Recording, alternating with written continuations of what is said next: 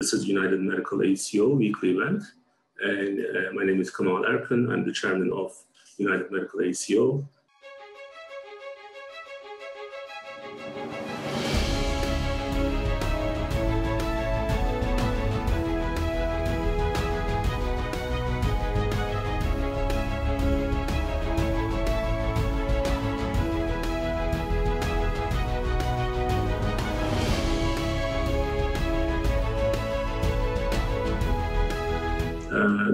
Good afternoon, everyone. Um, sorry we were not able to be with you last week. Today is June 4th, uh, Friday, 2021.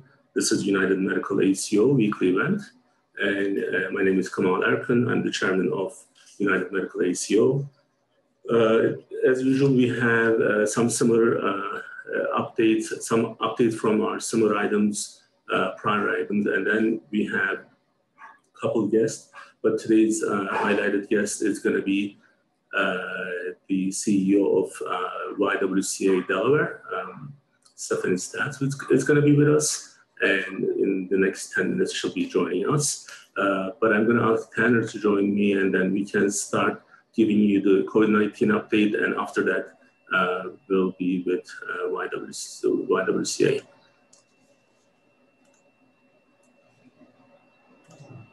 All right, Tanner, you are mm-hmm. your own. All right, thank you very much, Kemal. So, as Kemal mentioned, we're going to start off with some of our um, regular updates, uh, particularly taking a look at the rate of vaccination, um, starting here uh, locally in the state of Delaware. So, as we can see up here, Delaware is just over 50% now of its population has been vaccinated. Uh, you can see that on that top line is what is uh, being shown here on our path to 75% or that herd immunity. So being just over 50%, we keep an eye on how that's affecting the seven day rolling average of uh, new positive cases as well. And we're seeing a continued decline in that. Um, so where is the United States um, actually in the rate of vaccination as well? So we've actually dipped under the 1 million um, doses per day mark for the first time uh, really since I want to say back in February. You can kind of see that shown on the right side here with our trend graph as well. Um, so that is just keeps pushing out uh, at the rate of which we are vaccinating when we will be able to get to the 75% covered uh, for population of the country as a whole. We're looking at about the six month mark um, at the current rate of, um, of our vaccination. So with that being said, um, we're taking a look at then on the country as a whole uh, with the amount of the population that is vaccinated. Where are we looking at with new cases um, on that seven day rolling average or new cases per million here? So the United States, uh, just behind Delaware when it comes to percent of population um, that is vaccinated, means Delaware is slightly um, ahead of the national average here, being that we do have a little over 50% of the population in the state. The United States coming in at about 46% here. Um, but that has also current efforts uh, and what we have accomplished so far continue to knock down the um, rolling average for new cases. Um, on so, the uh, Tanner, I think our concern is uh, the uh, when the numbers on a daily basis it was over three million. We were going to be done in the three months that was two months ago. Now right. that number drastically dropped, and that's something that we want to highlight. So uh, if Correct. you are still not vaccinated, please make sure that you reach out to your uh, state uh, health department or your primary care physicians to get the vaccination because the only way that we are able to go through this if everyone is able to get their vaccination completed. Mm-hmm. Um, Certainly. So, um, kind of my um, uh, mouse here uh, is a little bit faster than me. So, in case no worries at all. Just no worries at all. so we did want to um, get into some other uh, updates, news updates, particularly that we are seeing coming out regarding some of the vaccines, some of the other COVID updates that we have. Um, firstly, with the Moderna vaccine. So a few, uh, I guess a month or two ago at this point, what we had talked about was, um, I believe last month, um, the approval of the Pfizer vaccine for uh, use in our adolescent population. So next up would be the Moderna vaccine. Um, they have been going uh, through some clinical trials in that same population, that 12 to 17 year old um, population, since early February, uh, possibly late January. And we're starting to see some of the results from those studies now. Uh, and that's showing that they have been highly effective in that adolescent population as well. So important to note that this has not been approved uh, for emergency use for this population as the Pfizer vaccine has. That is still currently the only one being used for our pediatric population. Um, but this uh, Moderna vaccine, the Moderna does uh, plan to apply for that emergency use by the FDA um, sometime late this month, hopefully. Uh, so we could see that as another uh, vaccine being used um, uh, to help inoculate against the, the virus. So here we just have a little graphic of some of our um, providers, our pediatricians. These are our Smyrna doctors from United Medical Clinic, right? Correct, yes. So something else I wanted to touch on was a, a, new article, some new information coming out regarding the immunity to uh, COVID and how long that's actually going to last for, or um, how long people will will we need booster shots for um, our vaccines after it's initially done um, who's going to need booster shots maybe how often. It was all something that was still uh, kind of up in the air as um, we do continue to inoculate against the virus. uh, and as time goes on this is all stuff that we're still continuing to learn so something that we're starting to find out now um, is that the immunity cells or your uh, what's going to help you uh, be immune against the virus um, particularly in those people that actually did contract the virus um, at one point, um, they are going to have some of these cells able to survive in the bone marrow. So, uh, if you did re- have COVID at one point and then eventually got uh, vaccinated, um, this study is suggesting that the antibodies are going to persist for uh, years to come. So, so whereas in, the, in, in, the kind of like practical way, uh, I got um, I was infected in April 2020 uh, with my COVID. Like this is a real life story. So mm-hmm. January 2021, I got my first vaccine, and March, uh, I believe, early March was the second one. So the chances of me getting reinfected versus someone who's just with two doses is a lot less.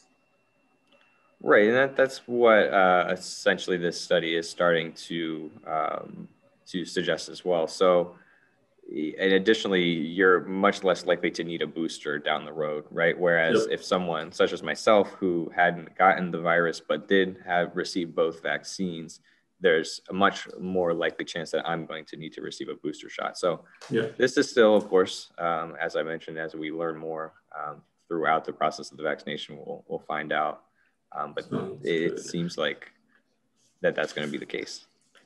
So uh, before we go to the next slide, so I just want everyone to remember uh, what I did uh, say about Dr. Anthony Fauci and some comments that I made regarding his age and job, his being so extremely demanding. Um, I hope I'm on the right slide, by the way. Yep, I am. So it might be a little link, uh, delayed for me. Uh, you, you didn't see it? Not yet. Huh. So right now you don't see the Dr. Fauci slide? I do not know. Now I do. Yeah. Okay. We're on the same page. So um, this is interesting because uh, all the emails that he has received between March and April 2020 um, is being published, and he gets um, uh, thousands of emails every day. And I think he was kind of behind with reading them, or he needed other people to help him, which we expect that but it's a very demanding job and we didn't read everything yet and I, I don't know if there's any new reports out but uh, someone at his age and what this job requires uh, i think there's a really big disconnect.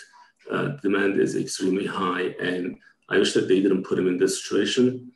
Uh, but next week or so we will be getting into those emails and then see if there was something that could be uh, helpful if we were uh, to react to this problem earlier. So I don't know if you wanted to add anything. Sure. Well, I, I didn't get to uh, read through many in particular. I did get to read through this article. Um, and certainly, I think some of the interesting points that I took from it um, were just the sheer volume that he was receiving on a day to day basis, really coming from, as he mentioned, colleagues, um, all types of uh, different institutes, academics, uh, and then even just the, he mentions the amount of random people just reaching out uh, and trying to get a hold of him. So um, I think the, the more we are able to, to go in will certainly be interesting as we get to learn a little bit from that perspective, particularly his um, on from what you mentioned was such a demanding job at a very hectic and chaotic time um, early on in the onset of mm-hmm. the pandemic. Um, so I think that that insight is going to be is going to be pretty crucial to um, not just understanding our situation, but then also being able to um, prepare, as he mentions uh, early in one of his emails. Uh, he talks about um, one of the questions he received was what was keeping him up at night from the early on, and it was uh, talking about the uh, possibility of respiratory or some sort of pandemic such as that we had uh, obviously are now still going through. So um, yeah, he wasn't maybe taking enough Ambien situation is a, a, a large, uh, a, a, big learning experience. So yeah. it'd be interesting well, to get uh, some more of those. Um, uh, thank you for the uh, COVID-19 updates. And sure. now uh, you and I, we prep for this, uh, these sessions and other than the COVID-related items, that's how it started. But then we added United Medical ACO patient-based issues that we could actually discuss in this setting. And also just to kind of uh, increase that variety. We added other uh, guest uh, speakers uh, from the state officials to some uh, other uh, organizations. They were our guests, and today actually is um, I'm going to ask, ask Stephanie Staats to join me. Uh, she's one of my favorite people in Delaware, at least. so uh, Stephanie, you are on mute. Uh, if you can just unmute. Oh. All right. How are you doing?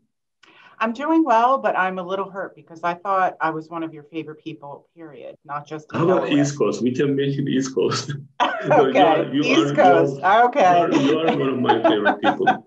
so it's not it's not limited by the uh, geography. So, but thank you, thank you so much for joining us today.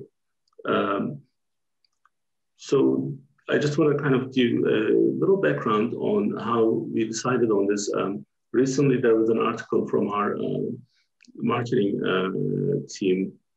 They focus on the uh, YWCA and what I do with you guys.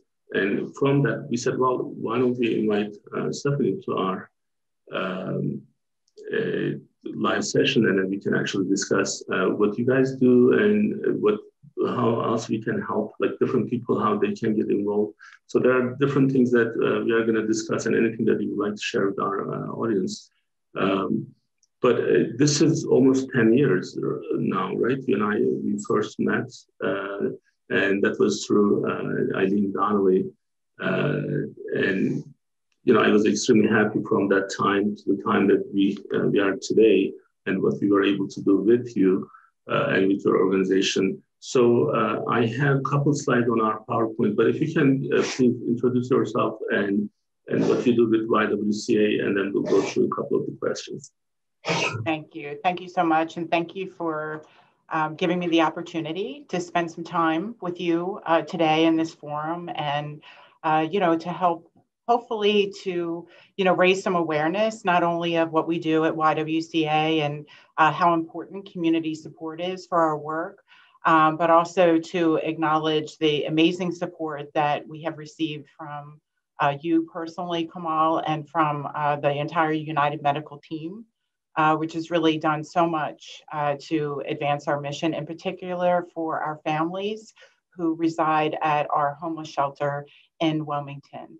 Um, so if you're not familiar with YWCA Delaware, um, as Kemal introduced me, um, I'm the CEO. This will be my sixth year as CEO, uh, but I've been with YWCA for uh, 15 years or so now. The, the years just keep racking up. Um, and one of the reasons that I've stayed with YWCA as long as I have is because uh, it has really provided me an opportunity for personal growth, both in my you know professional skill building, um, but also in my personal growth as far as you know understanding um, really the the depth and the uh, intricacies of the issues that affect our clients uh, in the space of eliminating racism and empowering women. So that's our mission. And we work toward achieving our mission um, by concentrating in four different programmatic areas uh, housing, health and safety, economic empowerment, and racial and social justice. And our housing work has been uh, a particular interest of Kemal and the United, United Medical team.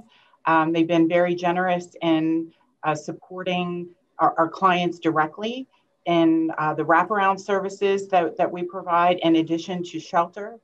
Um, and I'm happy to go into more detail about what we do at Home Life Management Center and how we do it, but I'll pause and I'll let you guide me, Kemal, and where we should go next so, in our conversation. Uh, sure. Um, I think uh, one of the uh, most important for me uh, was uh, looking for the charity in different ways. Like uh, sometimes when we do this, um, is it meaningful? Is it really impacting the society that we live in?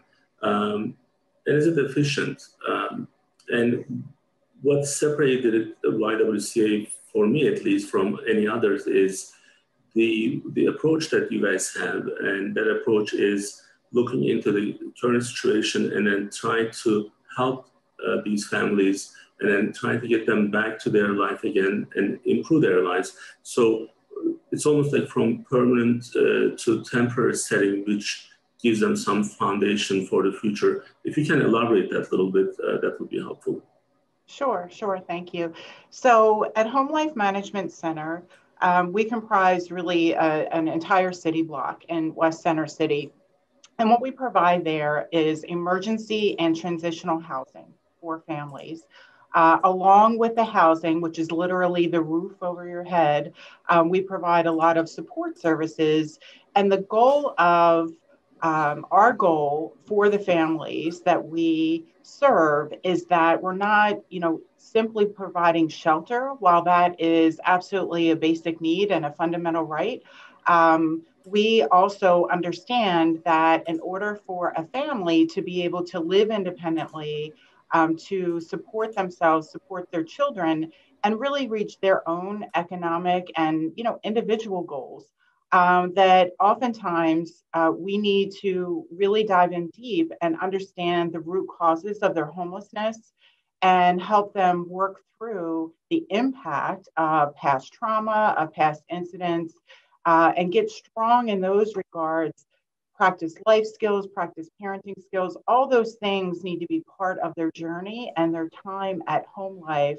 Uh, so when they leave our program, uh, that they're going to be uh, successful on their own. And so uh, every family that comes to us is literally homeless. So they are coming to us on an emergency basis.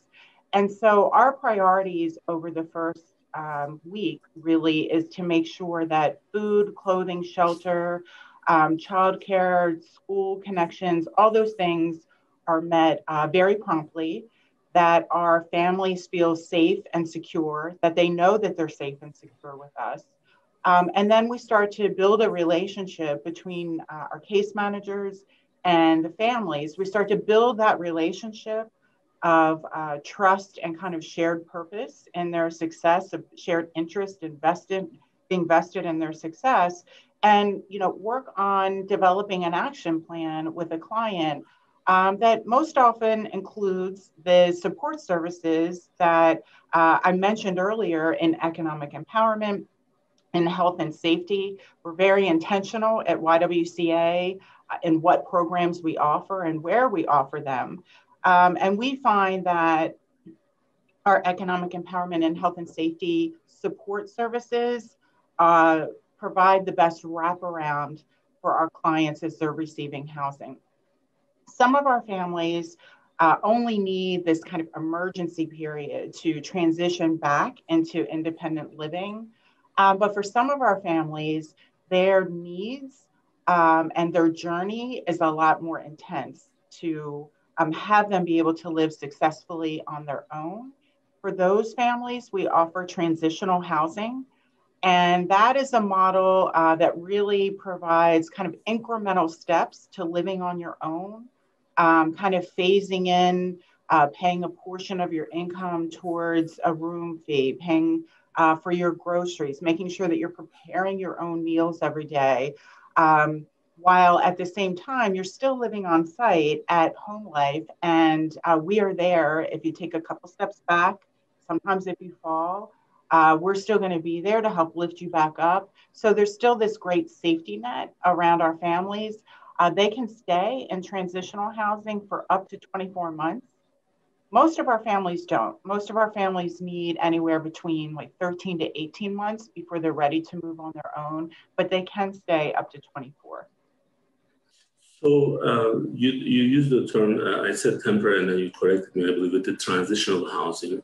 So uh, for those who may not know the difference, so uh, if, if it's a homeless shelter, that's permanent, right? So there's different types of housing interventions uh, for the homeless population. And so um, one housing model is mm-hmm. permanent supportive housing, and that's really designed to um, that's designed for, I guess, you know, highest need individuals who really, for a variety of reasons, are never going to be able to successfully live on their own.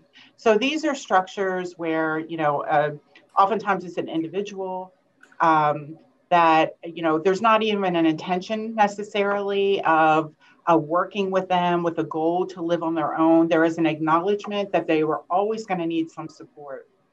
And so permanent supportive housing provides that. That's not what we do at YW. Um, at YWCA, we're working with um, uh, the, the segment of the homeless population where it is an emergency need, meaning uh, mm-hmm. They need at most up to 60 days of shelter to be able to get back on their feet. Um, it's not uncommon that those families, because we do concentrate working with families as opposed to uh, just mm-hmm. individuals, it's not uncommon that um, families that need just a short stay, so say three weeks, in an emergency shelter, that's due to one particular incident that has caused their homelessness. And so we can work to help get them back on their feet after that. It could be mm-hmm. a loss of income, it could be uh, overwhelming debt. Um, in some cases, it could be eviction. And so another intervention that's available is called rapid rehousing. And mm-hmm. that is essentially sort of like rent support, temporary rent support to help a family go from emergency shelter into living outside of the shelter in the community, but they still need a little bit of help for a couple months to help kind of get them on their way. So their need for support services and case management is often a little bit lower um, than someone who needs to stay in shelter for an extended period of time. So you weren't incorrect, Kemal, when you said it's temporary. It is all temporary. Mm-hmm. Um, we uh, use a transitional model to uh, best illustrate what we're doing, which is while this is temporary, it is a transition between emergency shelter and living on your own because we understand that your needs um, are best met when you have a lower barrier access and a more regular connection to support services. So that can be, for example, the um, program, uh, Kemal, that you and your team uh, designed and launched for us several years ago uh, for individuals who a barrier to their independence is having sufficient earned income to support themselves and their family. And they needed uh, computer skills. They needed training and direction uh, to move into, uh, you know, in, in and in our case, in that partnership, it was to help them qualify and yeah. be competitive uh, for um, office positions or front desk positions in medical offices.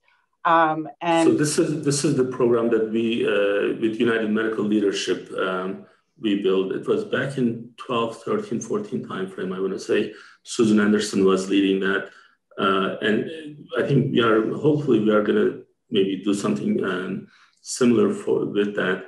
Uh, you know, we did hire people from that program. After the training was done, we hired uh, at least two or three people, if I'm not mistaken. Yeah, that's fantastic. And you know, the the ripple effects of those two or three people are enormous because you know those individuals um, if they came from our program which they did it means that they have families it means that they have children um, mm-hmm. and so you know what these kind of programs can do is they can really break cycles uh, multi-generational cycles within families whether it's poverty homelessness um, uh, you know and and need for external support um, that's what these kind of programs can accomplish. And that's what we're about at YWCA. It's about empowerment. Um, it's about, uh, you know, with, with us, with our partners like United Medical, it's providing, you know, it's understanding what families need, what their barriers are to being able to, frankly, live their best life and their most fulfilling life, understanding what those barriers are and making sure that we're providing uh, the support that they need whether it's programs or services, uh, to be able to overcome those barriers. So, uh, Stephanie, I know uh, people can actually get involved in different ways. If um, we can maybe go over those, how we how can we help? How can we get involved? Well, thank you. This is a great illustration of some ways that you can help. Um, our website is ywcade.org. Uh, we are constantly freshening that with um, upcoming events, um, with upcoming um, uh, current volunteer opportunities. So you can go there anytime and get an up to the minute snapshot of how you can get connected to us. Um, an easy way to always stay abreast of what we offer is to follow us on social media. You know, we do the, um, you know, the big three, if you will, Facebook, Instagram, and Twitter uh, are the primary platforms that we use. And, uh, you know, we post regularly and you will see opportunities to get connected through those uh, platforms as well. So certainly um, we are always uh, in need of uh, donations, of contributions from individuals. We do receive grants. We do have some, um, some contracts with uh, government entities. It's not enough. I mean, it really covers the bare minimum. And so, in order to really be able to do what we do and achieve the outcomes that we can, we need support uh, from people like you uh, who help us help us fill in those gaps. So certainly through individual donation, um, save the date, October 13th at 8 a.m. is our annual celebration breakfast. And uh, if you go on our website, if you join our mailing list, we'll be sure that you get an invitation, um, an early invitation before it goes out to, to a broader list uh, so you can get the best seat. So it's a wonderful, wonderful event. Um, so you get the, volunteer uh, opportunities as well. So this is, um, I'm actually, I'm just gonna share the website. So in case, um, I know everyone should already know, but uh, so this is our website, right? Let's see. So that is YWUSA. So we okay. are. And so here I am. okay. There we go. Okay. There we are. you see we have a Fresh at YW. We just had a panel discussion um, last week that's still on there that we, you know, post. That's one thing from going through COVID and mm-hmm. lockdown periods is we very quickly transitioned to delivering um, services and programs virtually. And so now it's become a habit, even as we open up and we can start to do more in person. Um, we do um, record our programs that are open to the public and make the link available um, so you can check them out at any time. So you mentioned uh, the uh, grants available, um, and I do remember uh, several years ago we had some issues um, with uh, how those being actually allocated to the different uh, shelter programs. And because we do the transitional uh, housing, it was almost like if we weren't included in the shelters, there was something that I remember, and I know that issue was resolved. But are you guys um, or are we getting the uh, enough support from the federal and the state governments? So I wouldn't call the issue resolved necessarily, um, but we are in um, a slightly more secure place than we were. Um, the circumstances you referred to were um, a shift in priorities of funding um, to support emergency shelter somewhat, to, but to more to put more support behind permanent supportive housing, to put more support behind rapid rehousing, which is that program that's essentially like rental assistance for a few months, and to take away from transitional housing. And so um, the population that that created the most threat for were families, especially single moms. Um, and especially families where there was a history of domestic violence. Um, those are some of the, the number, uh, the top reasons that cause uh, women's homelessness. And it follows that the families that we work with in our transitional housing program, uh, these are issues that they face and have to work through. And so the shift in federal priorities to support more community based housing um, that's fine for a certain population, but it leaves a large percentage of the population out. So we had to really fight um, to make sure that it was uh, clear and that everyone understood the value of transitional housing, why it was important. Kemal, you were part of making that argument with us, which is extremely helpful. And as a result, because uh, we were really in jeopardy of losing our funding. And if we lost our funding, um, that particular funding stream, we would have to shut down Home Life Management Center. Without a doubt, we would have had to shut down transitional housing.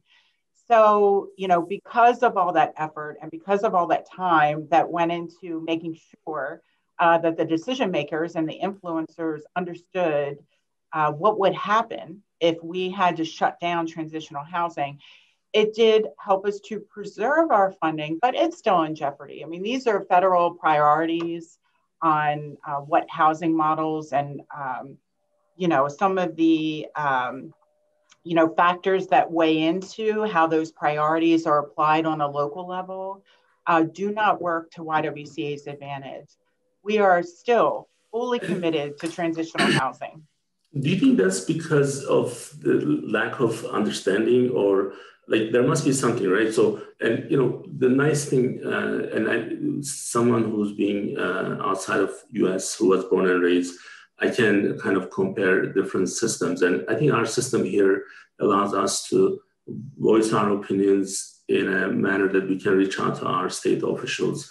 And i know chris coons um, good friend and not only he helped uh, with this situation lately there was a situation with there is a situation with Tigray, Ethiopia uh, conflict, and he, uh, I can see how much he wants to help. Now, but it's just one person versus there are there's an establishment almost where some of these organizations are there on the first in line. So then by the time it gets to uh, YWCA or organizations like y, uh, YWCA, it takes um, a lot of funds away from uh, these uh, people who really need this. Uh, I think that's, do you, do you think that's kind of like the understanding or there's some other maybe underlying issue that we are not aware of? Well, I think that, you know, there's a variety of factors certainly that influence how priorities are set, uh, set at the federal level and how funds are allocated. And I think too that, um, you know, there is an ebb and flow uh, to any uh, social program about what is the best model. And I think that it is not uncommon when there are self funded studies that those studies will support, um, you know, kind of the thesis or the thinking that you went into it. And so I think that was some of the circumstances that led to.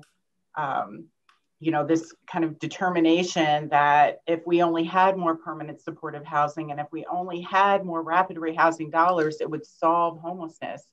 Um, so you know i think that the challenge for organizations such as yw is um, we don't have you know full-time lobbyists. We don't have you know whole departments that are there to work on communication strategies to help convey um, who gets left out when we kind of put all our dollars into one um, solution that we kind of self-funded the research on that anyway um, so that's why it makes advocates for our work so important.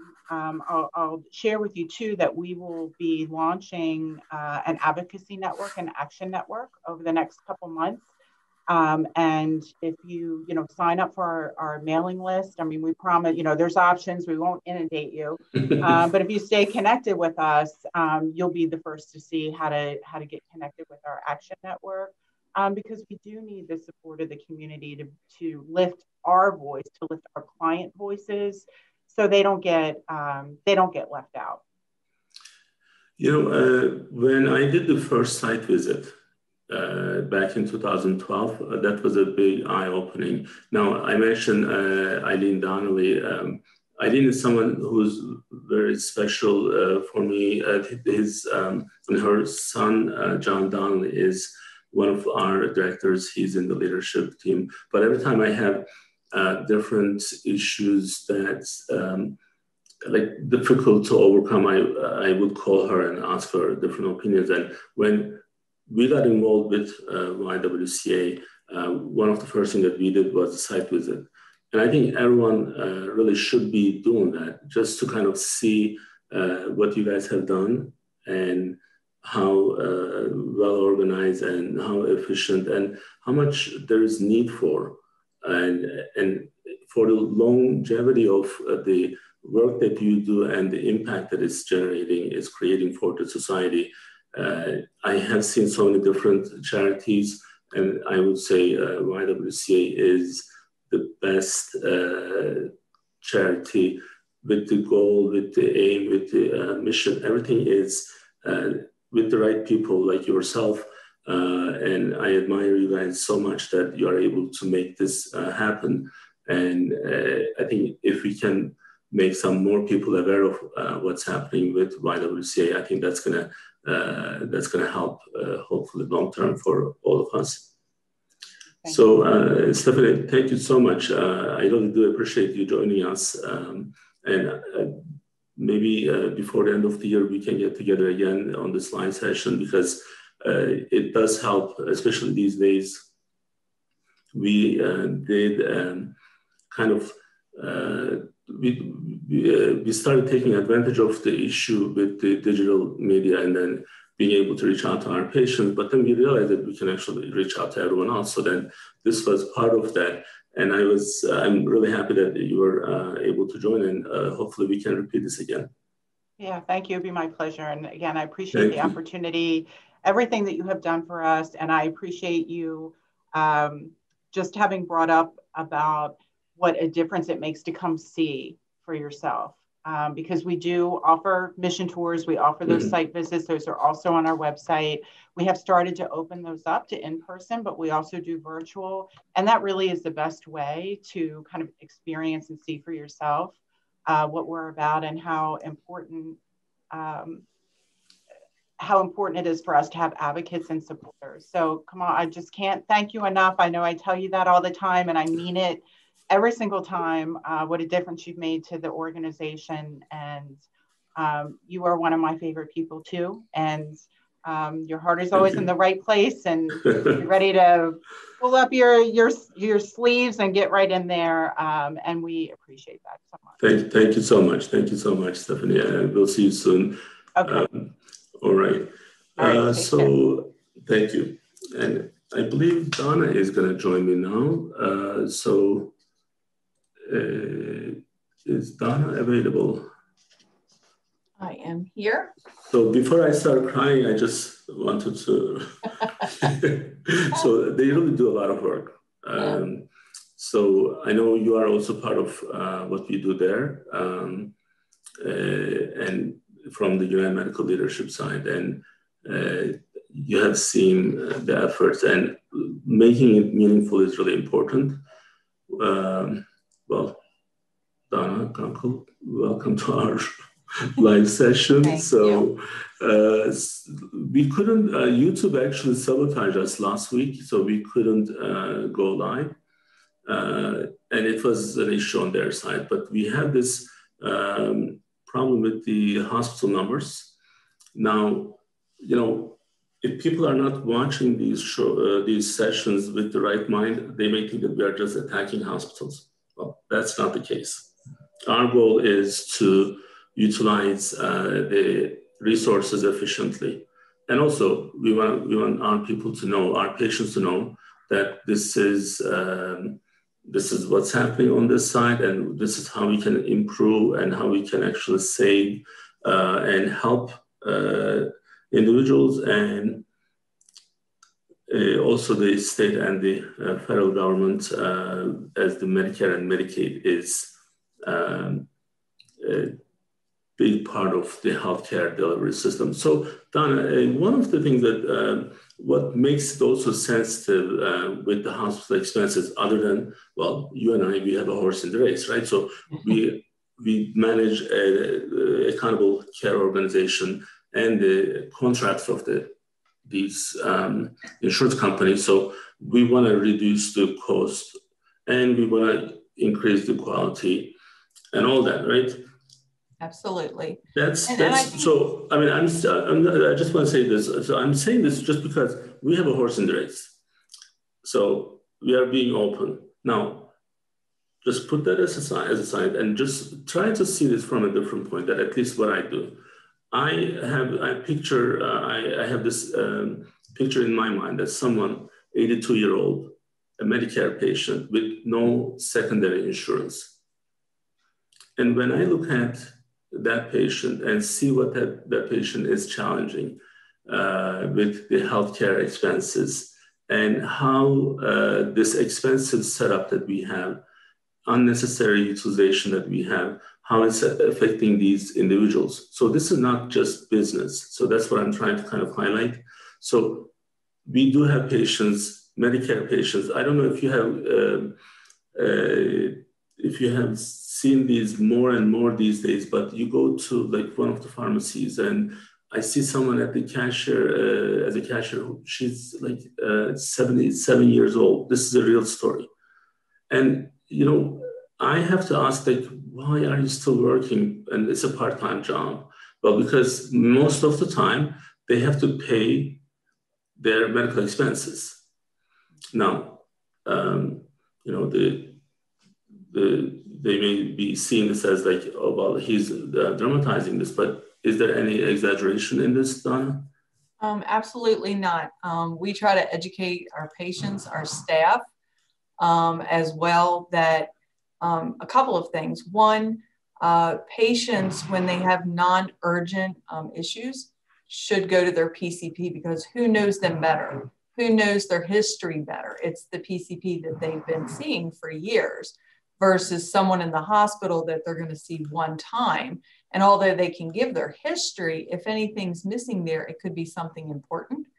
Um, and then again, to your other point, Kemal, um, you know there's there's wait time. Um, you know mm-hmm. it's, it's important for patients to understand that we set aside a certain number of appointments every day right for same day um, and try to prioritize those. If we can't get you in that day maybe it's the next day but you're not waiting uh, with telehealth and you're feeling sick you don't have to go sit in an er for eight hours. You can um, see the provider from your own home um, so Donna, I think one of the things that uh, I wanted uh, you to kind of explain to us, sure. you know, the, the patient behavior is so interesting how it can be easily changed.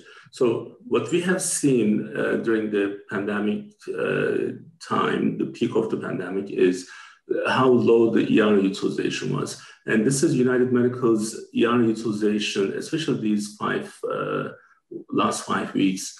And as soon as I see this trend, uh, what triggered uh, me to actually share this in this setting, because when you look at the state uh, COVID 19 data, they show the hospitalization going down. Mm-hmm. And that is correct. There's no problem with that. But the hospitalization that's not related to COVID is uh, increasing again. So can you uh, sure. explain this to us and then what we can do? Um, yes. So um, a couple things to keep in mind is these numbers um, show ER visits as well as inpatient visits. So when we drill down and look at that, um, one of the things that we see is you're right. During the pandemic, um, patients still had a lot of the same, you know, health issues going on. Uh, they were looking at alternative ways, right? That's when we started offering telehealth, et cetera. So they would utilize telehealth with their own primary care. Uh, maybe they would go to an urgent care, but they weren't going to the hospital, right? Because uh, they were they were looking at that as people at the hospital with COVID. They didn't want to potentially expose themselves to someone with COVID. So to your point, that behavior changed. Now what we're seeing um, throughout this year and you know is some of it that people are getting vaccinated they're feeling more comfortable right they're opening up um, some places are, are not requiring masks although healthcare facilities still are because many patients are coming in that aren't that are sick and aren't um, vaccinated. Um, so we think a lot of it does have to do with their comfort level of feeling comfortable to go back to the hospital. But are they going for the right reason? And we do track um, avoidable ER visits, um, those that could be seen in a different setting. Um, so again, um, what Kemal's showing here is where we see those large um, increases. So uh, yes, from the middle of April to the middle of May, we've broken this down by uh, four of the hospitals here um, in, in Delaware. And we see, you know, Christiana has gone up significantly from 147 um, to 245. So over 100 cases, you're almost doubling um, what you have there um, as far as patients um, going in. We do see some increase with some of the other hospitals. Um, in blue is Bay Health. Um, Nanticoke is in the gray, but certainly not to the extent. Um, we really only so, saw um, an, Donna. you know, one thing, one thing on this, uh, because um, what what actually um, what I'm worried about. So uh, you know, for those who may not be, who are not from Delaware, they may not know. So if you were to name one of the most luxurious uh, buildings in Delaware, uh, normally if you were in Turkey or Europe or some other part of the world, it would be usually a hotel. Uh, our one of the largest building is Christiana Hospital. Um, the lobby, you go in and it's amazing, humongous. so all granite. So why I'm saying that is because I look at St. Francis, we have a same similar proportion population in different parts of the uh, state. And while people are just rushing to Christiana, uh, they are actually uh, not going to St. Francis.